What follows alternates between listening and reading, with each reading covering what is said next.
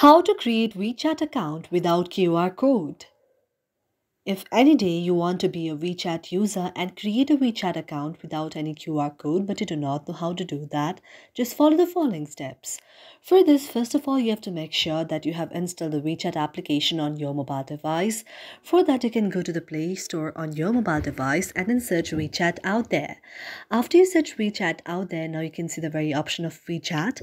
Now, since I'd already downloaded and installed the WeChat application on my mobile device, I do not need to download it once again, but if you have not downloaded the very WeChat application, you can download and install it. And after you have downloaded or installed it, now what you can do is you can go to the search icon on your mobile device and then search WeChat out there. After you search WeChat, now you can see an interface like this when you launch it. Now you have to tap on the option of sign up.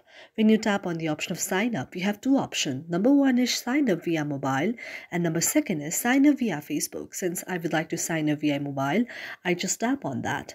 Now, after that, you have to tap on your name that you'd like to create. For example, I tapped on the name that I would like to create. Now, you also need to search your very country or your reason code. My very country or the reason code is Nepal. Therefore, I search it to Nepal and set it to Nepal like this. Now, after that, you have to tap on your phone number here and tap on your phone number like this.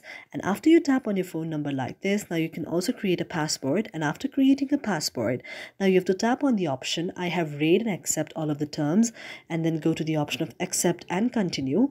Now after you tap on the option of accept and continue, now you can see the next interface like this. Now you have to tap on I have read and accept the above terms and then go to the option of next. You can also keep on a profile picture there by tapping on the picture like icon.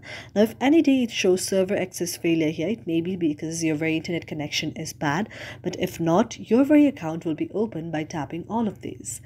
Thank you for watching our video and if you really like it do not forget to subscribe our channel